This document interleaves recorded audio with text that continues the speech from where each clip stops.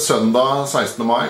Altså Da har vi jo da i Grekland, i Hellas, så har vi da um, folk på gatene.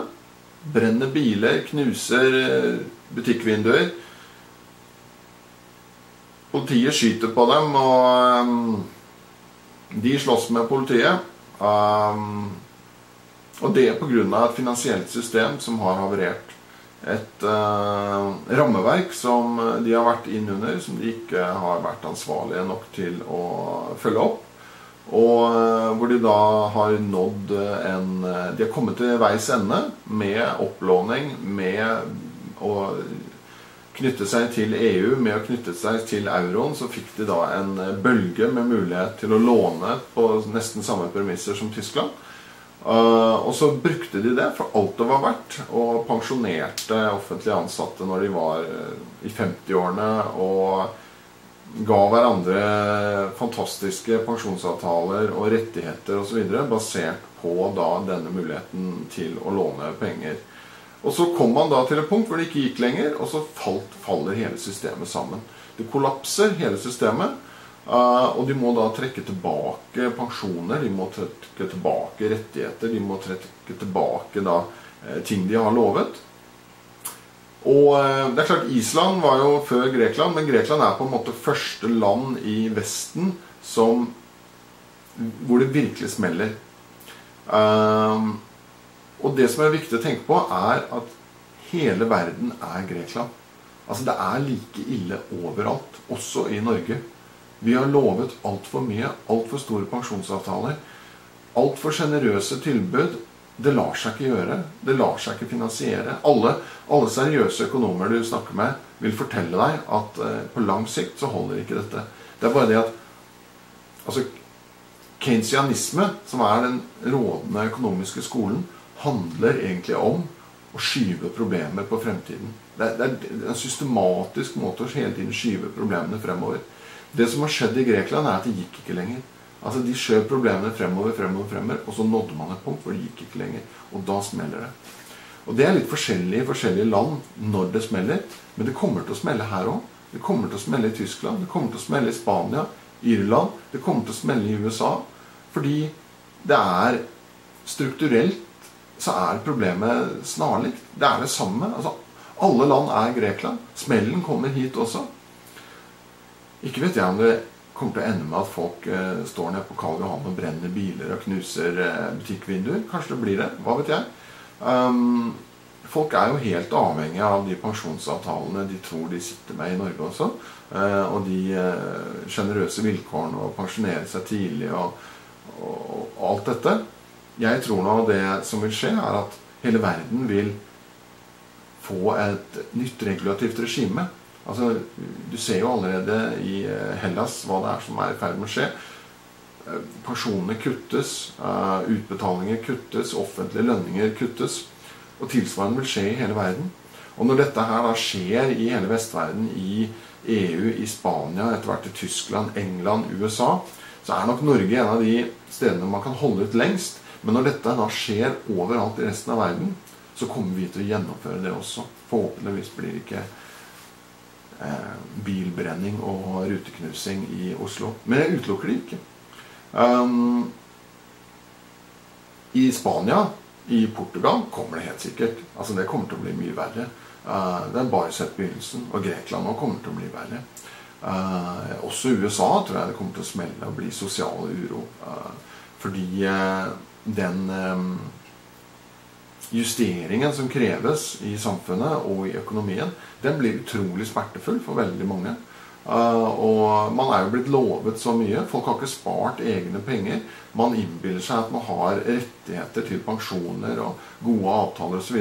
Rettigheter til penger som ikke fins. Altså, folk tror liksom at jeg skal ha pensjon sånn og sånn, og sånn, men de pengene de, de fins jo ikke. Uh, de er brukt opp, de er belånt, de er, de er vekk. Eh, sånn at eh, når eh, blåmandagen kommer, så er det folk kommer til å bli sinte og gærne overalt. Um, og det kommer til å bli ekstremt volatilt. Uh, folk og stater kommer til å trekke seg innover.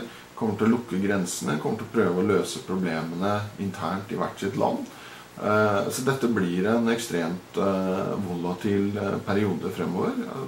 Kan 10 år, 20 år, 5 år, altså hva, hva vet jeg. Men det som egentlig har skjedd, er jo at fra, egentlig fra andre verdenskrig til 2007 så hadde vi en ekspansiv kredittboble. Ekspansiv kredittboble der kreditten og pengemengden hele tiden økte, og hvor man antok at det ville fortsette, slik at man fikk en sånn akselererende eh, økonomi. Og eh, da tilpasset alle seg dette, og pensjonsavtaler og alt mulig rart, det ble da basert på til slutt så hadde man jo da i 2007 hatt liksom over 50 år med eh, denne ekspansjonen. Så man trodde at det var slik det skulle være. At det, det var en slags ny verdensorden. At det, at det var økonomisk vekst, og, og, at eiendomspriser går opp, og at aksjepriser går opp. Det ble nesten tatt for gitt at det, at det skulle fortsette. Men ingenting vokser jo til himmelen. Og da nådde man da et punkt i 2007 hvor dette ikke gikk, gikk lenger. Uh, og da det, det, det, som da er forskjellen, det er at inntil 2007 så hadde vi jo hatt et antall resensjoner, altså midlertidige tilbakeganger, som har vært på ett eller to-tre år. ikke sant? Og mm, Vi hadde bankkrise i Norge, riktignok, men den var ganske fort over. Og så hadde man da så fløt man videre på en ekspansiv eh, økonomi, en kredittekspansjon, egentlig. Um, men denne gangen er det annerledes. Altså, dette her er ikke det er mange som forsøker å sammenligne den, dette med de tilbakefallene vi har hatt tidligere i vår generasjon. Eh, og så ser man da to-tre år, og så er vi på beina igjen. Og Det er bl.a. en av grunnene til at børsen har kommet så sterkt tilbake. Det er at man, man tror at ja, basert på den resesjonen og det og 1991 og, og sånn og sånn og sånn, så blir det sånn og sånn og sånn. Men denne gangen er det annerledes. For det som har skjedd, og det ser du veldig lett når du ser på pengemengden i USA og, og, hva Federal Reserve har gjort i de forrige resesjonene og denne gangen, så er det nå en, en helt annen type kurve. Det vi har sett, er at uh, kredittveksten har kommet til veis ende. Det er ikke mulig å vokse kreditten lenger og innbille seg at det skal fortsette å vokse. Altså Treet har på en måte nådd så høyt som det kan. Uh, og det vi ser nå, er jo da en begynnelsen på en reallokering, en, justering av hele økonomien til da det nye premisset om at kredittbølgen er makset ut. Og hvordan da økonomien vil se ut, og hvordan vi vil ta oss gjennom dette, det er det ingen som vet. Men det vi vet sikkert, er at det vil ikke bli likt som det var tidligere. Og det er jo det, er jo det statene prøver å gjøre med å låne så mye penger og med å pumpe penger inn i økonomien. Det er at økonomien er jo rasjonell. Og kom da til 2007, og her, nå har vi lånt så mye penger, nå har vi ekspandert eh, pengemengden så mye at det går ikke lenger. Markedet innså det og kollapset. Da ønsker markedet å rejustere seg til en ny type økonomi og gjøre ting på en ny måte. Men det sier staten det finner vi oss ikke i, fordi vårt maktapparat hele vårt system er basert på de gamle premissene. Så derfor så låner vi nok penger og pumper inn i økonomien, sånn at vi kan late som at ting fremdeles er slik som det var. At vi kan fortsette på det sporet. Men det er ikke slik denne gangen. Dette er en fundamental rejustering. Og det er derfor dette er en depresjon. Da. Eh, og depresjon det, er et litt dårlig ord, fordi det på en måte refererer til det å være deprimert liksom, som fysisk eller psykisk tilstand. Eh, men altså, hvis vi sier istedenfor depresjon, så sier vi eh, totalomgjøring, revaluering av hele økonomien. Som jo da egentlig er det en depresjon mener, så er det det vi er inne i nå. Dette er en depresjon. Det er ikke bare nok en resensjon.